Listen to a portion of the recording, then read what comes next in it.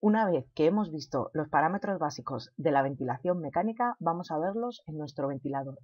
Este es nuestro ventilador, que es el Oxylog 2000 Plus, de la marca Drager. Es un ventilador portátil. Aquí tenemos el botón de encendido. este botón es una rueda giratoria que si lo presionas también sirve como confirmación. Aquí tenemos para silenciar las alarmas. Estos botones son para cambiar entre las distintas modalidades ventilatorias. Con estos de aquí y estos de aquí podemos navegar junto con el mando rotatorio en la pantalla. Y estos cuatro son los importantes, somos los que vamos a ver ahora más detenidamente. Si os fijáis, en la rueda tiene colores. El color verde es para entre 10 y 20 kilos, el azul para entre 20 y 40 kilos y la parte amarilla son los parámetros para más de 40 kilos.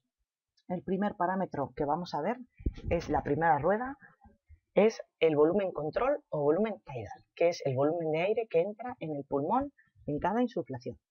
Tenemos que es entre 5 a 8 mililitros por kilo de peso.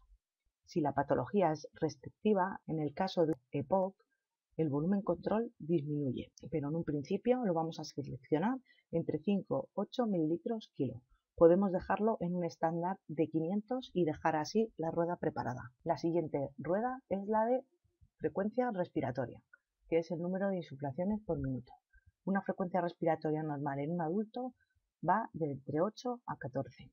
Cuanta mayor frecuencia respiratoria programemos, hay mayor volumen minuto, es decir, hay mayor volumen que se mete de aire en el paciente por minuto y de esta manera eliminamos más dióxido de carbono. Cuanta menor frecuencia respiratoria pongamos, mayor cantidad de CO2 retenemos por hipoventilación. Con estos parámetros jugarán luego los médicos o los intensivistas según la gasometría del paciente. La tercera rueda es la presión máxima, la presión que le va a introducir el ventilador al paciente. Tiene que ejercer una presión positiva sobre la vía aérea pero con unos límites. La máxima que vamos a poner en nuestro ventilador es de 30, porque la presión alveolar debe estar por debajo de 30 centímetros de agua, que corresponde a 40 milibares, que es como lo mide nuestro ventilador. Entonces lo pondremos en 30, que es como nos lo pone el ventilador en el modo de comprobación, pero podemos ponerlo de máximo a 40. La siguiente rueda es la FIO2, que es la fracción inspirada de oxígeno en el aire es decir, la proporción de oxígeno que suministramos dentro del volumen de gas inspirado, es decir, la cantidad de oxígeno que hay en todo el aire que metemos al paciente. Con la mascarilla Venturi girando la rueda podemos ponerlo en 24, 31. En este caso solo tenemos dos modalidades. Oxígeno Air Mix, que es a 50% y a 100% de oxígeno. En el caso de nuestros pacientes que sean parada cardiorrespiratoria o un paciente en el que vayamos a dormirle por cualquier otra afectación neurológica, por ejemplo, siempre vamos a poner una FIO2 de 100%. Una vez que tenemos programado un volumen tidal de 500, una frecuencia respiratoria de 10, por ejemplo, una presión máxima de 30 y el y una FIO2 de 100%, tendremos nuestro ventilador programado para conectarlo al paciente. Por lo tanto, a modo de resumen, simplemente para conectar el ventilador a nuestro paciente, lo que tenemos que hacer es encenderlo, dejándolo pulsado. Comprobar que se va a encender la luz de volumen control, que es la modalidad ventilatoria en la que vamos a trabajar nosotros, una modalidad ventilatoria en la que controlamos todo. Comprobamos que la cantidad de aire que le vamos a meter por minuto es de 500. Comprobamos que la respiración está entre 8 y 14. Esto es muy importante, tenemos que comprobar que la presión máxima está entre 30 o 40 para que no introduzca más cantidad de aire de la necesaria y podamos provocar un barotrauma.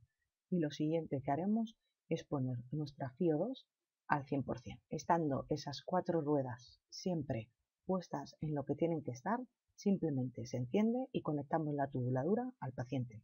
En el caso en el que el respirador nos dé algún tipo de problema que no sepamos solucionar, siempre podemos quitarlo y ventilar con nuestra bolsa mascarilla. Otros parámetros que no son necesarios para el funcionamiento del respirador en el paciente que vamos a tener son el PIP y el trigger. Voy a explicarlos porque siempre son dos cosas que nos suenan. El PIP es la presión positiva expiratoria final, que consiste en mantener una presión y por tanto un volumen al final de la expiración. El objetivo es abrir los alveolos. En la foto de aquí podemos ver que sin PIP los alveolos se cierran. Si ponemos una presión al final de la expiración, se quedan abiertos porque se mantiene una presión sobre ellos y no se colapsan del todo. Con esto se ha descubierto que mejora la oxigenación y aumenta el número de alveolos que intervienen en la ventilación. En nuestro ventilador tenemos esta opción aquí, en este lado arriba de la pantalla. Con el mando giratorio podemos seleccionar, subirlo y bajarlo. Y nos aparecerá aquí lo que tenemos seleccionado. El otro parámetro es el trigger. Os lo explico porque nos sonará, pero no lo vamos a utilizar en pacientes en críticos. Se utiliza más en UCI, en unidades de cuidados intensivos en los que el paciente empieza a despertar. Entonces comprueban que el paciente puede realizar alguna inspiración por sí mismo. El respirador lo que hace es captar ese esfuerzo que es negativo porque lo que hacemos al respirar es una presión negativa y cuando lo capta insufla el volumen.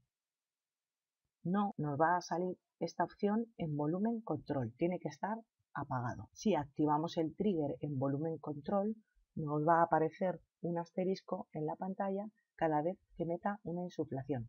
Podemos poner un trigger de entre 5 a 20 litros minutos. Se suele programar a 5. Como conclusión es decir que el ventilador que tenemos en nuestro servicio se llama Oxilog 2000 Plus de las modalidades que nos ofrece que vamos a utilizar es el volumen control, dentro de una ventilación controlada total.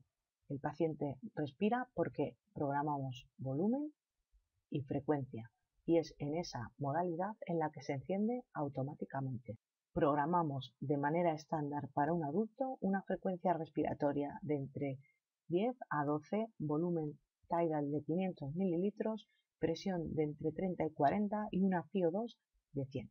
Otras opciones que presenta son el PI, que lo programamos entre 0 a 10. Por último, podemos programar el trigger para que el ventilador perciba la inspiración del paciente, por lo que pasaríamos de una ventilación controlada total a una asistida.